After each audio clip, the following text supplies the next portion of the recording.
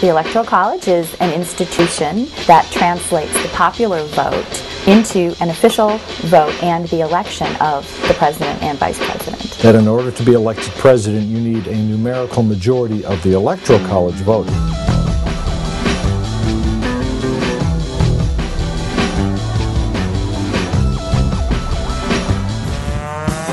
A swing state is a state that could go for either of the two major parties. It's winner take all, and so if you win a plurality, you win that state's electoral votes.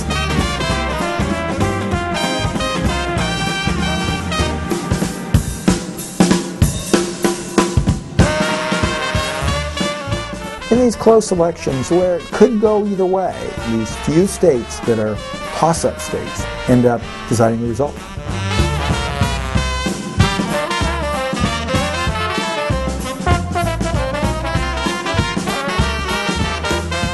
Candidates make strong efforts in the large population states, and they also make a very strong effort in swing states. There's no sense in investing scarce campaign resources or collecting policy positions that represent the interests of states that you can already count upon. There are some states that I can mention to you right now that we know are almost certainly going to vote for the Republican candidate. And there are other states that we know are almost certainly going to vote for the Democratic candidate.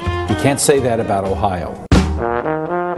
Uh, that's the reason the presidential candidates and the campaigns and the third party organizations are in this state uh, almost all the time. We're certainly one of a small handful of states that is likely to provide the winning margin for whoever the ultimate victor is.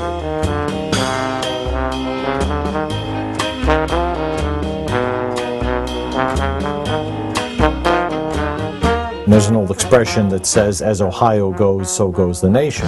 And that reflects the fact that the winning presidential candidate, going back many decades, almost always carries the state of Ohio.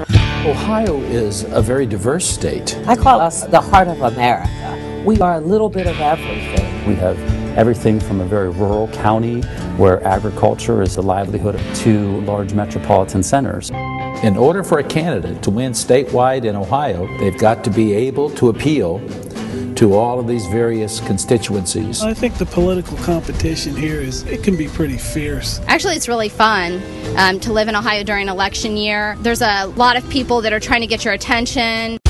Oh, it'll be an exciting time in Ohio on election night. I think people in Ohio feel that it's um, certainly a, a, point of pride to be a swing state and, and to say, hey, we make a difference